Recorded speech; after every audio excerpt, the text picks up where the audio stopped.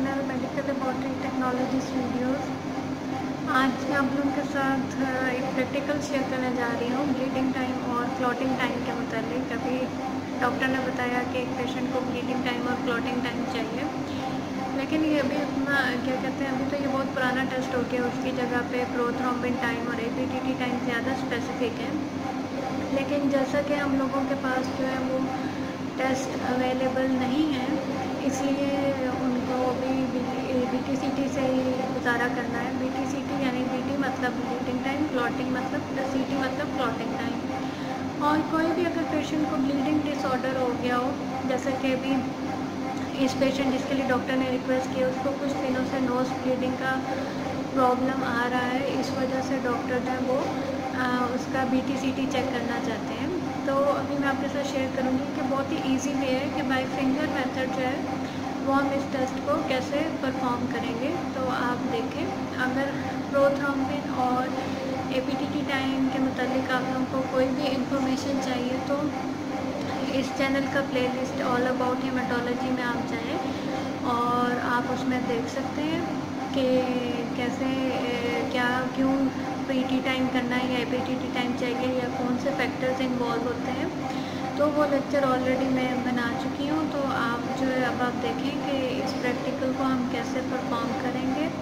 अगर आप नए स्टूडेंट हैं या फिर अगर आप हेमाटोलॉजी के अलावा किसी और डिपार्टमेंट में काम कर रहे हैं तो ऐसा नॉलेज आपके लिए ये अच्छा अच्छी वीडियो होगी आई होप और अगर अभी आप, अभी तक आप लोगों ने नोटिफिकेशन या सब्सक्राइब नहीं किया तो प्लीज़ चैनल को सब्सक्राइब करें, ताकि आपको आने वाले लेक्चर या वीडियो जो भी हैं, वो टाइम पे मिला करें। तो अब मैं आपके साथ शेयर करूँगी, और वीडियो में मैं उस टाइम नहीं बोल रही थी, क्योंकि उधर उतना अलाउ नहीं था और साउंड इशू भी होना था। इस वजह से मैंने प्रैक्टिकल जो किया, उसको वॉइस ओवर किया है, लेकिन आई होप कि आपको अच्छी तरह समझ में आ जाएगा। कि इस टेस्ट को हम कैसे परफॉर्म करते हैं? ब्लीडिंग टाइम की जो नॉर्मल रेंज होती है वो टू टू फोर मिनट्स होती है और क्लॉटिंग टाइम की जो होती है वो up to six seven minutes जो होता है वो क्लॉटिंग टाइम नॉर्मल रेंज होता है। लेकिन ये डिपेंड करता है नॉर्मल रेंजेस एरिया के हिसाब से लोकेशन के हिसाब से एटमॉस्फेयर के हिसाब से, बहुत सी चीज़ें मैटर करती हैं नॉर्मल रेंजेस में। तो आप एक आइडिया ले सकते हैं रेंज का, लेकिन हर एरिया के हिसाब से रेंज जो है वो थोड़ी बहुत जो है वो अफेक्ट करेगी। तो अब मैं आपके साथ स्टार्ट करूँगी ब्लीडिंग टाइम और प्लॉटिंग टाइम को। और इस वीडियो के लिंक में मेरे दूसरे चैनल का भी लिंक अवेलेबल है। प्लीज़ प्लीज़ प्लीज़ उसको भी सब्सक्राइब करें, क्योंकि मुझे आप लोगों के सपोर्ट की ज़रूरत है। जैसे आप लोग इस चैनल में मुझे सपोर्ट कर उसमें भी आपकी मुझे सपोर्ट चाहिए। आप देखें लेक्चर को वीडियो को अगर आपको पसंद आए तो ज़रूर लाइक करें और कमेंट करके बताएँ। और अब हम स्टार्ट करते हैं लेक्चर इस टेस्ट के लिए आपको चाहिए कैपलरी ट्यूब्स और फ़िल्टर पेपर और लेंसेट प्रिक करने के लिए, जो कि लेटर ऑन मैं आपको दिखाऊँगी। अल्कोहल स्वैब एक दफ़ा फिंगर को साफ़ करने के लिए या कोई भी स्पिरिट स्वैब चाहिए। और बस ये तो थी, और स्टॉप वॉच चाहिए स्टॉप वॉच अवेलेबल नहीं है तो अब तो मोबाइल हर एक के पास है तो उसमें ऑलरेडी अवेलेबल है स्टॉप वॉच फिंगर पेशेंट की फिंगर को आपने अच्छी तरह जो है वो स्पिरिट स्वेब से साफ़ करना और फिर ड्राई होने के लिए छोड़ देना है।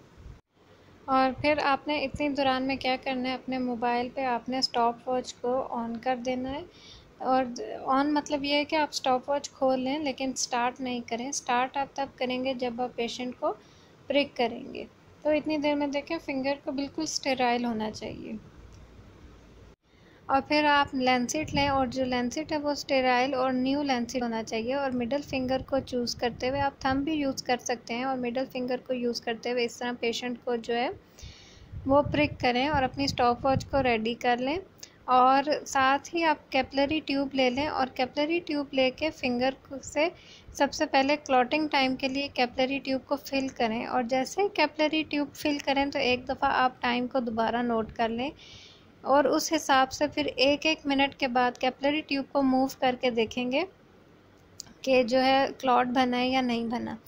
अब फ़िल्टर में पेपर की मदद से जो फ़र्स्ट ड्रॉ था, उसको साफ़ कर लें और फिर तकरीबन अब ये देखें, मैंने थर्टी थ्री सेकेंड पर यानी कि साफ़, साफ़ किया था तो अब मैं इसके बाद थर्टी थ्री सेकेंड्स के बाद जो है सॉरी हर थर्टी सेकेंड्स के बाद जो है, वो ब्लड को इस तरह सॉरी फ़िल्टर पेपर की मदद से साफ़ करती जाऊँगी और फिर तब तक हमने इस तरह चेक करते रहना जब तक कि फ़िंगर से ब्लड आना जो वो बंद ना हो जाए। अभी देखें, अभी ये जैसे ही थर्टी सेकेंड फिर होंगे तो दोबारा जो है वो पेशेंट की फ़िंगर को थोड़ा सा प्रेस करके देखें कि ब्लड आ रहा है या नहीं आ रहा है।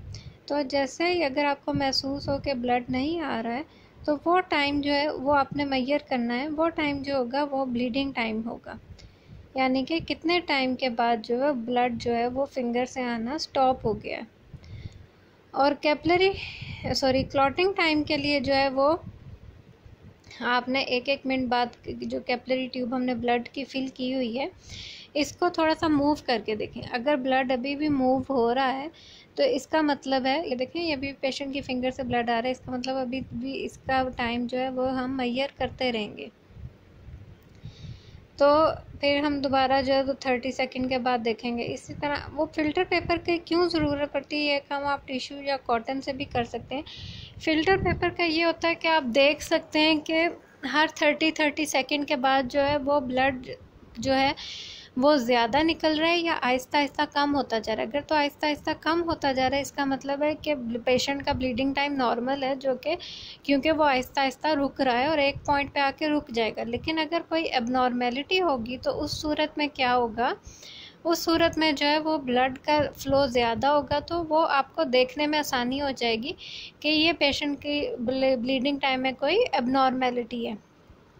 तो इस तरह आप जो है वो हर थर, थर्टी सेकेंड या एक मिनट जो भी आपको सही लगे आप यूज़ कर सकते हैं। और ये देखें अब ये पेशेंट का ब्लड प्रेस भी किया लेकिन नहीं निकला है तो आप उसको फिंग कॉटन दे दें ताकि वो फिंगर को साफ़ कर ले और टाइम नोट कर लें ब्लीडिंग टाइम के लिए।